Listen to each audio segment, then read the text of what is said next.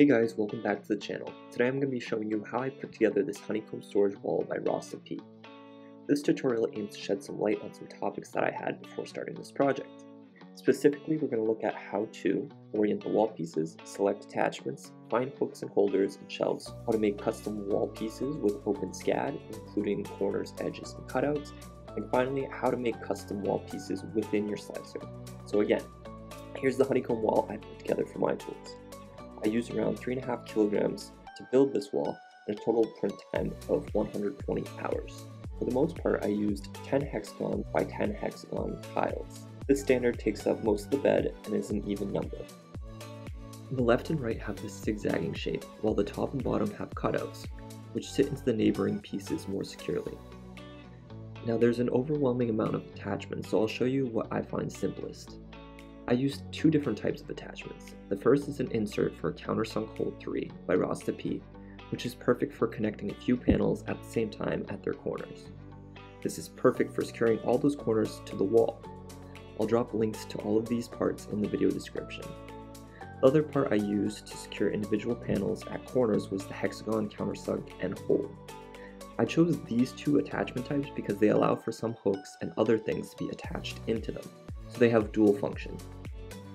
For hooks, holders, and shelves, you can look on printables.com under remixes for honeycomb storage wall and you can find hundreds of models that are made for different tools and things you'd want on your wall. In the description below, I'll add some of the models I use for my wall. If you want to make custom size tiles, cutouts, edges, and corners, we'll need OpenSCAD. This is a free to download software and works on Mac. I'll provide a link in the description. After downloading the software, you'll want to download both of these models found on printable.com. The first is made by Wirehead Arts and the second is made by Xander. With these two models, we need to install the BOSL2 library. Go ahead and follow the link and download the zip file. When it's downloaded, you'll need to rename the file to BOSL2. This file needs to be put into the OpenSCAD library. To do that, show package contents of OpenSCAD go to the Resources, then Libraries. Drag and drop BOSL2 library into that folder. Go ahead and reset OpenSCAD after that. Going back into printables, we can download Wirehead Art's most recent model, version 1.1. After it's downloaded, you can open the file in OpenSCAD. You'll notice that it has a default size of 10 by 10. On the left side of the monitor, you'll see the code that changes the model's shape. To make it easier though, we're going to use the right side of the monitor titled Customizer. The first tab allows us to change the number of hexagons in the X and Y direction.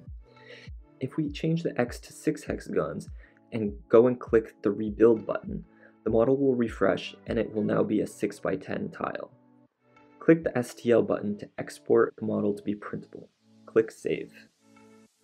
There's a couple more useful tabs we can use. Next is the solid section modifier. To enable it, you can see a solid strip appear. The next tab is Cutout, an area for a power outlet or any other reason. Click Enable, and then you will be able to modify the size and position of the cutout. I won't cover the other tabs since I didn't find them all that useful for my wall, so now we'll go and download the other file by Xander on printables. After we've downloaded it and opened the file, again we'll use the customizer side of the screen to modify this model.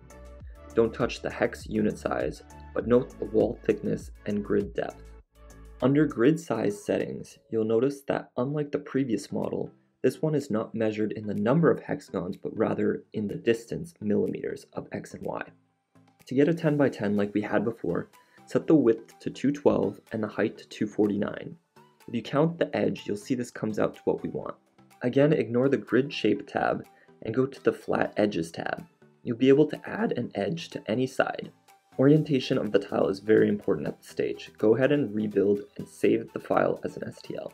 Now if you want to freehand custom parts and cutouts in our slicer, we can do that with a slicer like Prusa or Bambu Labs.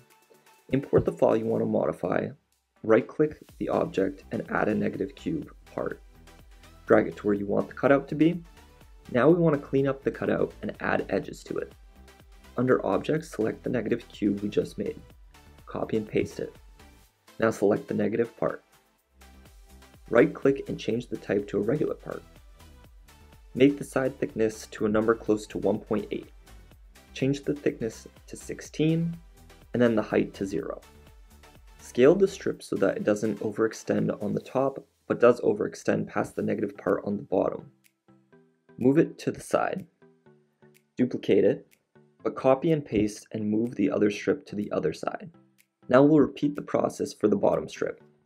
Note that you'll want to set the infill to a 100% for maximum strength.